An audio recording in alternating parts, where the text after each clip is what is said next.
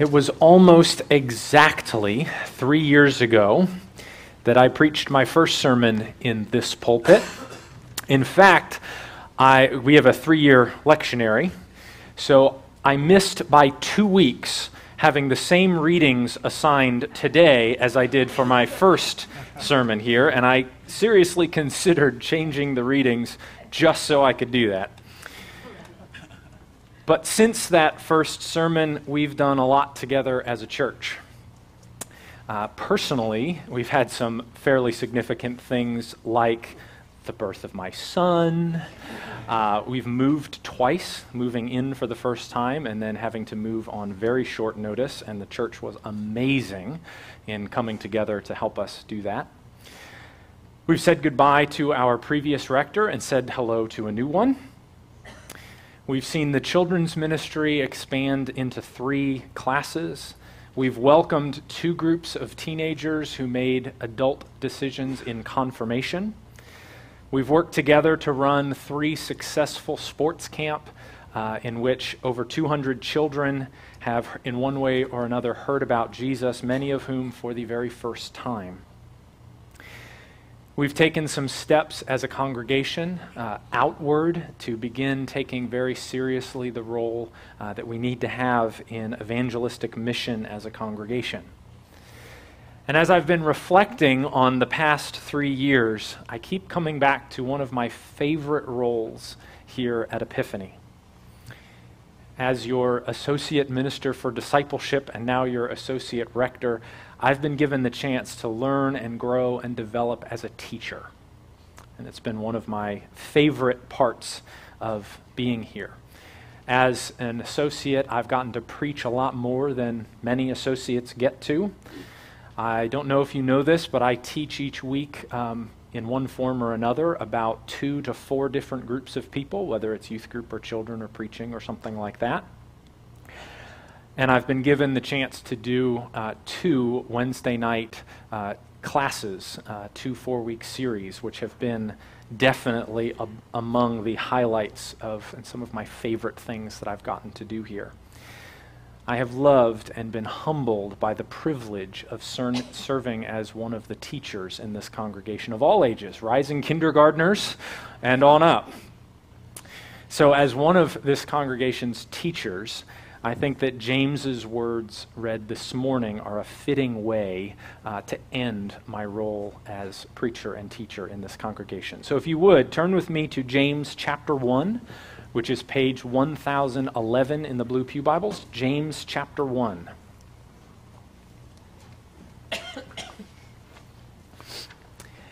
James writes to Christians who have already been taught the faith. They know Jesus and they trust in him. So he writes to them as one of their teachers, that uh, writing to a group that has already been taught at least the basics. So, as one of his teachers, he writes this, beginning in verse 22 Be doers of the word and not hearers only, deceiving yourselves. For if anyone is a hearer of the word and not a doer, he's like a man who intent, looks intently at his natural face in a mirror. For he looks at himself and goes away and at once forgets what he is like. But the one who looks into the perfect law, the law of liberty, and perseveres, being no hearer who forgets, but a doer who acts, he will be blessed in his doing. Don't be one who listens to the word and then goes away forgetting what you've just heard. Be a doer of the word, one who puts into practice what the Bible teaches. Don't just attend a Wednesday night class on how to interpret the Bible. Read the Bible and interpret it. Don't just attend a class on Christian virtue act virtuously, put into practice what we've learned together. Okay, James, that's very interesting, but what does being a doer of the word look like? And that, he knows in advance, is a good question, and he tells us something very significant about what that would look like. Look at verse 27. Religion that is pure and undefiled before God the Father is this to visit orphans and widows in their affliction, and to keep oneself unstained from the world. Okay, do you know what visiting widows and orphans in their affliction means? After careful linguistic study of the original Greek and the potential Aramaic behind it, do you know what scholars have come up with? Visit widows and orphans in their affliction. Widows and orphans were the most unprotected members of society. They had no standing, they had no protection, they had no legal right to own property. They were the most underprivileged and disadvantaged people in society. And James says if you want to live out Christianity in a way that God accepts, if you want to do this the way God will be with a, in a way with which God will be pleased, care for them. Care for the lowly and the lowest of the low in society. We are not saved because we care for the poor or the disadvantaged. We are saved through God's grace, which we receive through faith. But as those who trust in Jesus, then we must act that out. We must be doers of the word. We must do what God expects from his people care for the poor and the oppressed, the neglected and the despised of the world. And as our psalm reading for today says, that's the kind of God that we serve. He looks out for the poor and the oppressed and the widow and the orphan. I recently met a young man who just graduated from college, and I was very impressed with him right away. He's now working in, an, in the inner city of a major U.S. city, and he's working directly. This is, he's about something like three or four months out of college. And what he's given his life to right now is he's working in the inner city with men who have turned to prostitution in order to survive. Talk about caring for the poor, oppressed, neglected, and despised of the world. This young man is ministering in Jesus' name to men in terrible circumstances. But I can think of little that one could do with one's life that is more obviously doing the Word of God, putting into practice what God expects Christians to do, putting into practice what the Bible teaches us to do. Now, not everyone is called to move to the inner city to work with men in, survi- in survival prostitution. But we are all, all expected to care for the abused and the oppressed and the underprivileged in the world. If you want to live in the way that Jesus expects, this needs to be a top priority for you. Find ways that you can actively and intentionally care for the lowly.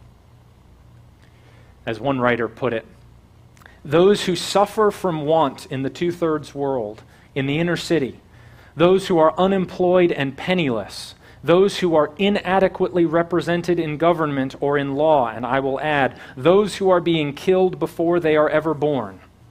These are the people who should see abundant evidence of Christians' pure religion. These are the people who should see abundant evidence of Christians' pure religion. As one of your teachers, allow me to challenge you to identify ways that you personally can participate in caring for the disadvantaged. We do a lot of things in our congregation surrounding this. Donate to the Coates food bags when they start back up very soon. Our Outreach and Evangelism Committee has numerous ways throughout the year uh, to give to the needy. Keep your eyes open for those opportunities and participate. Go out of your way to find ways to, to help hurting people and love them and provide for them in Jesus' name. Sponsor children through Compassion International or World Vision. Give generously to organizations like the International Justice Mission. Go on a short term mission trip to another part of the world and get to know personally people who are suffering. Give the gifts that you have in your business for free to those who otherwise couldn't afford it but are in need. Religion that is pure and undefiled before God the Father is this to visit orphans and widows in their affliction. But James doesn't stop there. Doing the word involves what we could call social action, visiting widows and orphans in their affliction and taking care of the oppressed and disadvantaged. But look at the second half of that verse. It also involves keeping oneself unstained from the world. We could call that moral action. James is concerned that if Christians do not adequately put the teaching of the Bible into practice, then a pollution from the world will get into the hearts and minds of Christians. And James has a lot to say about this pollution in, the, in his letter he says that friendship with the world is enmity with God, chapter 4, verse 4. Worldliness in the church includes neglecting the poor, chapter 2, verse 1 through 4. Worldliness includes an uncontrolled tongue, chapter 3. Worldliness includes so called wisdom, which is actually earthly, unspiritual, and demonic, chapter 3, verse 15. Worldliness includes double mindedness towards God that limits prayer, chapter 1, verse 8. He has a lot to say about the potential pollution from worldliness. And avoiding worldliness means doing the Word of God, putting into practice, putting into moral action what we are taught to do. Now, we can keep ourselves unstained from the world by sort of hedging ourselves in and not touching the big bad world out there. And to be fair, sometimes we do need to do something like that in certain sorts of situations. For example, I hear this message more and more and more just anytime you turn on the TV these days. Um, the world tells us that all dating relationships must necessarily involve sleeping together. I've talked with single adults, and they say the message is just as clear in that context as it is for teenagers. And keeping oneself unstained by the world will mean having nothing to do with that pathetic standard that the world offers us, and instead honoring God by reserving sexual expression only to a marriage between a man and a woman. Let the reader understand. Sometimes remaining unstained by the world means removing ourselves from situations so that we do not sin like the world does. On the other side, on the other hand, sometimes keeping ourselves unstained from the world means following Jesus' example of getting right smack in the middle of the fallen and broken world, coming face to face with the fallenness and darkness of the world, and bringing the light of Jesus into the world, clothed with, as we talked about last week, God's own armor to protect us from the sin and fallenness of the world. If you will, the best defense is a good offense. I got a picture of this recently with my son Caleb. When I come home from work, Caleb often just runs right up and gives me a hug. And I love it because it's often when I get the best hugs of the day. The problem is that when I come in, he often just stops whatever he was doing and charges at me.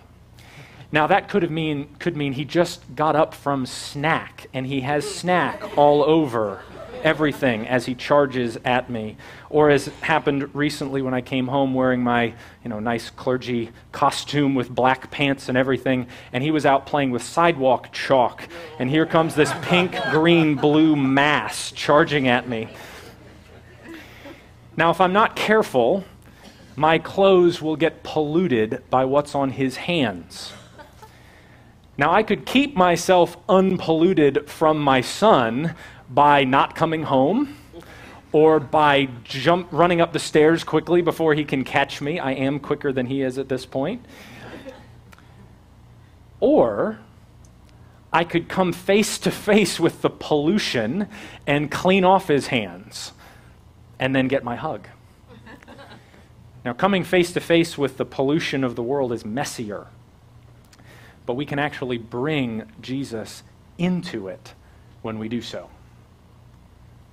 James is concerned that the world is getting into the church, while in fact, if you will, the world, the, the church is supposed to get into the world. Acts 17 6.